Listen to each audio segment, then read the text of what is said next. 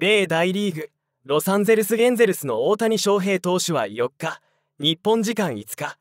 敵地ペトコパークで行われたサンディエゴ・パドレス戦に3番投手兼指名打者で投打同時出場したが右手中指の負傷で6回途中5失点で降板し4敗目を喫した。前回登板で割れた右手中指の爪の状態が心配されたが大谷は初回を三者凡退に抑え元気な姿をマウンド上でアピールした。ところが4回に2点タイムリーで先制を許すと味方が1点を返した後の6回に連続被弾し3失点。首をかしげた大谷は自打者に投じた1球目が大きく外れると右手を気にしてベンチにも視線を向けた。するとたまらずトレーナーがマウンドに駆け寄りフィル・ネビン監督は緊急降板を告げた。エンゼルスの地元放送局バリースポーツウエストでリポーターを務めるエリカ・ウェストンさんはツイッターで翔平大谷は前回の試合で影響を受けたのと同じ指の問題だったと語った。完全には治っておらず試合が進むにつれて悪化していったと途中降板した理由を説明。加えてバットの方では打ち続けるのは大丈夫だと思うが今のところオールスターゲームに登板する予定はないと続報を伝えた。大谷は現地11日にシアトルで開催されるオールスターでファン投票により指名打者での先発出場が確定。さらに選手間投票でも投手として選ばれ3年連続二刀流で選出されていた。メジャーの超一流選手だけが許される晴れ舞台でのマウンドに上がるのか注目が集まっていたが豆の影響で登板見送りが決定的になった。投手大谷のオールスター登板なしに米記者は即反応している。MLB.com で執筆するレッド・ボリンジャー記者はオールスターゲームに大谷がリアル二刀流登板する可能性が低くなったことをツイッターに投稿すると右手の爪について完治はしていないと次回登板に向け不安要素を挙げた。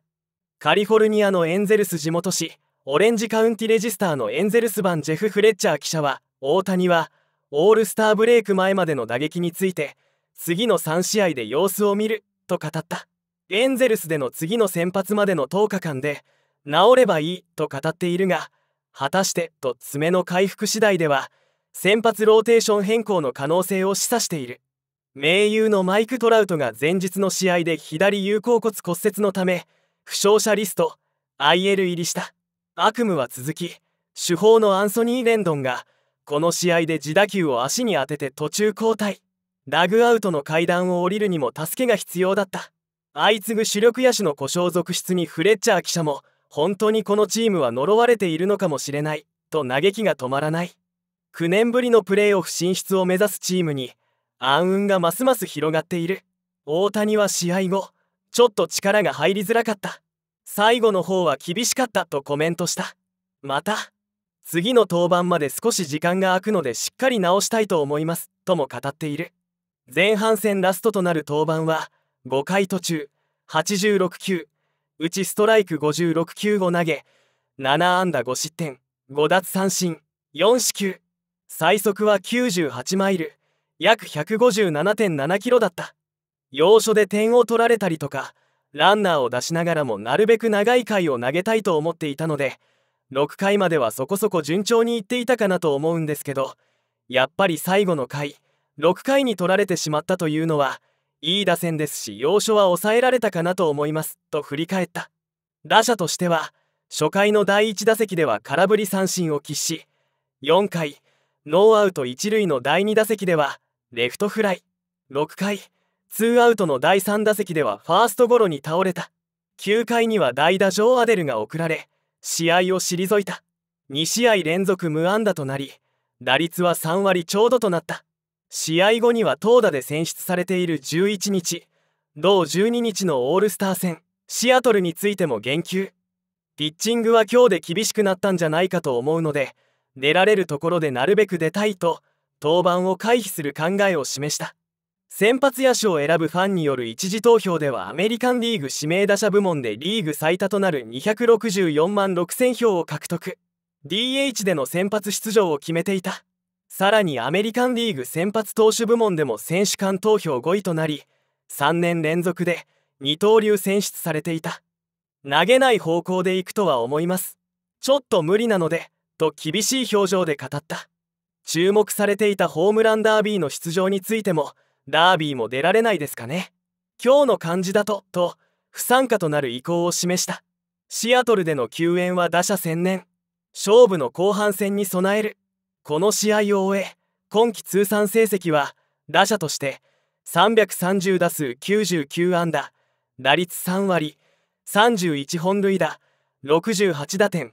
61得点11盗塁出塁率3割8分7厘 OPS は1.045一方投手としては17試合に登板し100回3分の1を投げ7勝4敗防御率3.32奪三振は132フィル・ネビン監督は試合後爪と豆の影響で痛がっていたことは分かっていたと語った。ネビン監督は6回に入って素晴らしい投球とは言えないピッチングだった。投げる前に私たちは話したけど指の状態は問題ないと言っていた。でも投げてみたら違和感があったのかもしれないと説明した。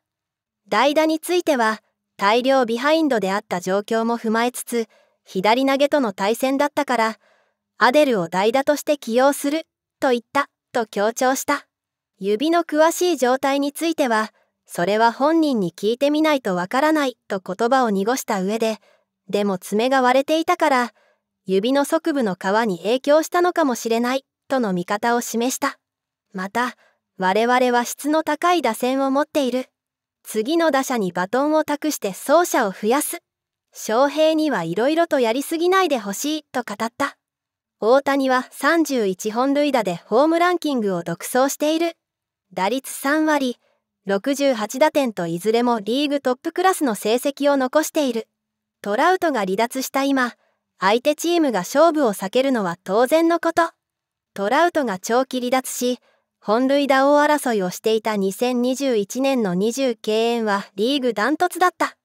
昨季ヤンキースのアーロン・ジャッジが記録したシーズン62本塁打も狙える位置にいる。ネビン監督はジャッジは負傷離脱したスタントンや他の選手がいなくても昨年60何発打った。翔平は打てる球を打つことになるし相手からしたら毎回歩かせるわけにはいかないだろうと続けた。変わらぬ打撃スタイルで臨むことが大事になりそうだ。アンソニー・レンドン内野手が4日日本時間5日敵地パドレス戦で自打球を受けて途中交代となった。前日にはマイク・トラウト外野手が骨折。相次ぐ故障者に米記者たちからも嘆きの声が続出している。地元紙オレンジカウンティレジスターのエンゼルス版ジェフ・フレッチャー記者はレンドンの負傷交代を受けてこのチームは呪われているのかもしれないとツイートするとエンゼルスの地元放送局バリースポーツウエストでレポーターを務めるエリカ・ウエストンさんもうわーと嘆いた。米スポーツ専門メディアジアスレチックのエンゼルス版サム・ブラム記者は怪我による大きなダメージを受けているエンゼルスにとってまたしても残酷なダメージだと落胆の声を並べた。3日同4日にはトラウトが左有鉤骨を骨折し負傷者リスト IL 入りしている。レンドンも離脱となればチームは大幅なパワーダウンを余儀なくされる。サンディエゴ・パドレスのスターフェルナンド・タティス・ジュニア内野手が大谷にリスペクトの眼差しを向けている。パドレス本拠地でのエンゼルス3連戦に臨んでいる。試合前に翔平が今メジャーリーグで成し遂げていることは100年200年と語り継がれていくだろうと語った。タティス・ジュニアといえば大谷と並ぶメジャーリーグのスーパースターだ。2021年には14年3億4000万ドル、約490億円の大型契約を結び、42発を放って本塁打王に輝いた。昨季はバイク事故による故障と禁止薬物の使用で出場停止処分を受けるなど騒がせたが、今季は65試合で16本塁打、14盗塁、OPS880 と復活している。サンディエゴの地元メディア、プレップ・ピッグスキン・リポートのアリソン・エドモンズ記者は、試合前のインタビュー映像を公開。翔平は GOAT だ。彼はとてつもない男だ。彼がメジャーリーグで今、成し遂げていることは、今後、100年、200年と語り継がれていくだろう。